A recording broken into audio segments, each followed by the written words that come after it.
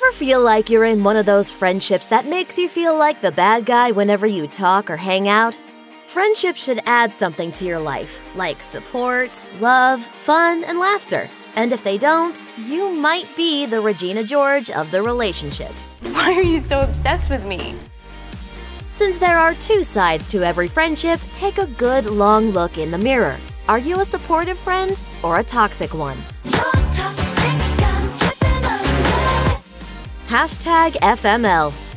Friends are supposed to listen to the tough things going on in their besties' lives. The girl is crazy.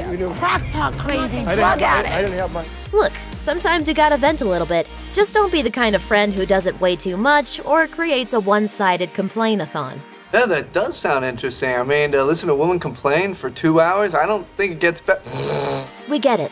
Your job sucks, your boyfriend's a jerk, and your mother's a controlling maniac. But honestly, you're not the only one who feels that way. Make sure you give your friends the opportunity to vent their own problems and return their texts when they need your support. Friendships, like all kinds of relationships, work best as a two way street.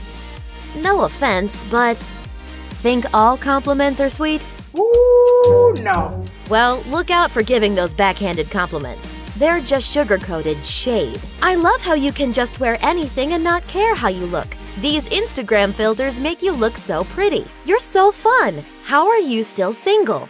That's right, they're all thinly veiled criticisms, and almost everyone can totally read between the lines. Compliments are meant to be filled with genuine respect, not backdoor judgment. Status, please. If you expect your squad to remember what's going on in your life, you gotta keep up with what's happening in your friends' lives. Do you completely forget birthdays, engagements, or miss congratulating your BFF on finishing that 5K? If so, you're being emotionally selfish by not listening and not reaching out. Ask questions, stay involved, and keep track of what's happening with the people you care about most. Gossip Girl. There's really no getting around this one. Gossiping about a friend is straight up toxic behavior.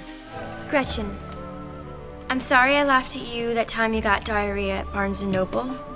And I'm sorry I told everyone about it. And I'm sorry for repeating it now. Spilling secrets betrays your gal pal's trust in you. Say they told you something in confidence and you share it with somebody else. If that secret info is too juicy not to share, or if spreading it makes you feel better about your own issues, girl, bye. If you wouldn't want it to happen to you, don't you dare dish it out. I know you are, but what am I? Just because your ride or die got engaged doesn't mean you will never find love. Please join me in the love tub. Yes. Okay. Yeah. Your friends' successes don't dictate the amount of happiness you'll experience in your life. And their good news doesn't have to mean bad news for you. No, I want to get to the bottom of this because I don't like this. I'm so sick of the BFF. I want us all to be friends. If you turn into a green eyed monster when somebody else gets a promotion, falls in love, or actually gets tickets to Beyonce, you're only limiting yourself. Share in celebrating your friends' successes and wins, and they'll do the same for you. And then we put her in the boat and we push her out into the water and we drink champagne to salute how f***able she was for so many years. Now that's true friendship. Thanks for watching. Click the list icon to subscribe to our YouTube channel. Plus, check out all this cool stuff we know you'll love too.